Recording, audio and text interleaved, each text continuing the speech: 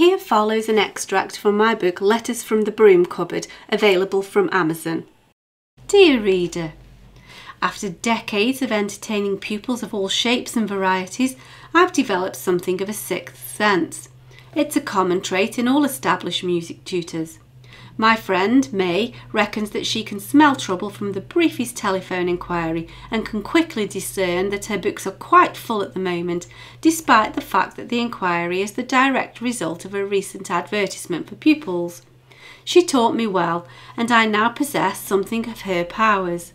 There are many telltale signs which, although quite innocent in isolation, once combined together signal impending doom. Learning to discern the signs is rather more art than science, although some of the earliest harbingers of trouble are quite simple. Once your attention is around, you just have to follow the verbal trail of breadcrumbs and adjust as the path unfolds. There are certain standard inquiry openings that suggest calamity lies ahead. I won't ever make her practice, I'll just let her play what she wants to play when she chooses. This is a sure sign of lurking doom.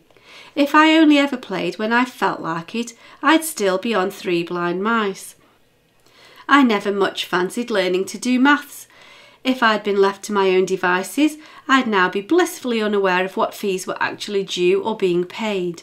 Fortunately, my parents and teachers forced me to learn how to add up, so it's thanks to them that I won't now get ripped off. I still say I'd rather have stayed sitting in front of the clangers all night. Another classic signal of impending disaster is I just don't want to learn any scales or stuff like that. I just want to be able to improvise and play jazzy stuff. Well, now then, it seems that we are locked in something of an impasse before we've even met. Silly me. I'll just go and find my pot of magic dust and that'll sort it. I won't be long. It must be here somewhere. The classic one-liner that endures throughout the mists of time is, I'm not buying an instrument until I see if he's got it. If he takes to it, then we'll think about it. Such a relationship is ill-fated from square one. In the first instance, I suspect that it's socially taboo to dare to ask precisely what it actually is. I have a sneaky feeling that I'll be searching for that pot of magic dust again, although I never can seem to lay my hands on it. Putting it to one side, I hardly dare ask how anyone will ever take to music if they only get to play for a maximum of 30 minutes per week. I was obviously a very slow-witted student as I foolishly spent the bloom of my youth playing scales and Schumann for hours on end before I could get it. Perhaps it's only the feeble few who need to practice or to work and rework small sections of notes and fingering. I guess that we'd better swap seats while they liberally sprinkle me with the fairy dust that they obviously own. I still can't find my pot. I've mentioned before that it may not be feasible for everyone to purchase a full-sized acoustic piano, and it appears that not many are willing to accommodate a free to a good home one for aesthetic purposes. But you do need to show a modicum of good intent. A keyboard will do for starters at least. This dilemma is particularly prevalent in would-be piano students, but it isn't wholly exclusive to the keyboard genre.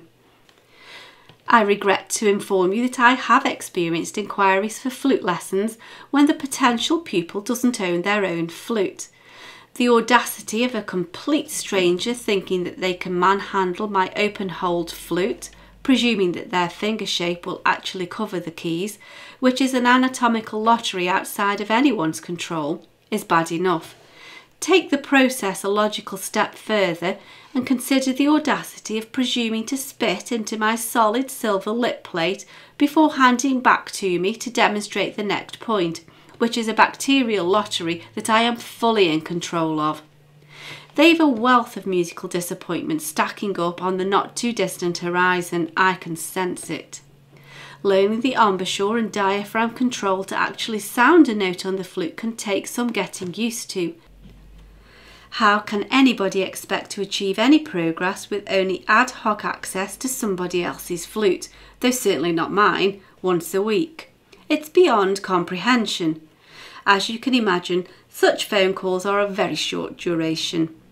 Over time, my powers of psychoanalysis have developed further than these brief forays into potential pupil divination, and I have honed the ability to assess the personality type of a student by interpreting their performance style. Again, this is a subtle art, and although I'm rarely wrong, there are times when an unexpected factor skews the hypothesis. Confidence is always a huge bonus when playing any instrument, and a more gregarious personality will happily bash away at their music with little regard for my long term hearing and with absolutely no regard whatsoever for any wrong notes. This isn't necessarily a bad thing. Oversensitivity to playing wrong notes can be really disabling to a student's progress. The main issue here is when it's a case of misplaced confidence. Tammy has oodles of confidence and attacks the keyboard with relish. It's just a pity that she has no perception or no concern about where she actually places her fingers.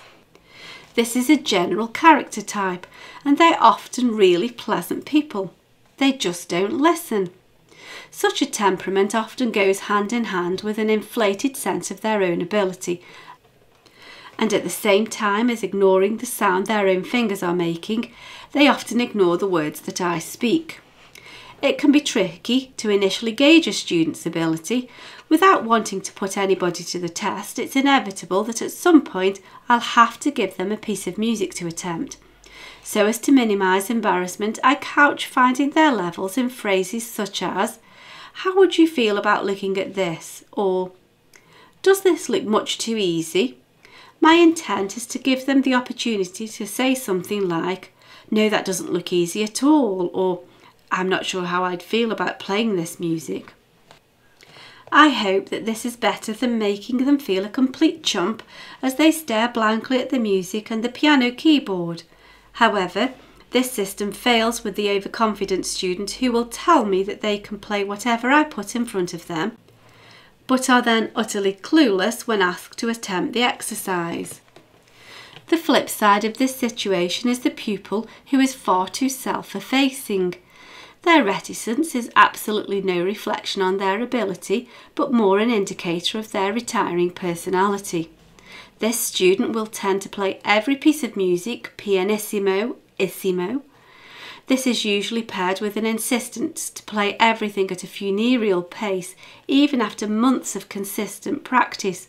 The fear of making even a small mistake robs them of what would be a musical performance if they dared to just go for it. Such a lack of confidence is a real inhibitor to progress. Even in an exam, a student will gain much better marks for a lively and varied performance, even with some wrong notes, although the goal is always not to have too many of these. A performance of merely accurate notes but played as a dull mathematical exercise is lifeless and uninspiring. If only I could mash these two personality types together. The confidence of the one mixed with the application and accuracy of the other would be a perfect combination. However, as I mentioned earlier, I have been known, on occasion, to misinterpret the stereotype, although I'm wise to the situation now. For years I'd presumed that pupils like Debbie were cautious and timid because of how quietly they played. No amount of encouragement would convince them to apply a bit of welly when they played. After much of the same encouragement, I did what was the only sensible thing to do. I asked Debbie in a straightforward manner why she played so quietly all of the time. Her answer was as simple as it was shocking. Her piano was in the same room as the TV, and her dad got cross if she played too loudly. The wonder now was that she ever played at all. Why would her father pay for lessons and then buy her a piano to then place it next to the TV? If it was so utterly preposterous to consider turning the TV off for half an hour or so, why not place the piano in the hallway or buy an instrument that could play through earphones? Sometimes there are just no words. Gratefully yours. For the full collection of letters from the broom cupboard, available from Amazon in paperback or as an ebook, follow the links in the cards in the description box or find details on my website at sharonbill.com. Thanks for listening.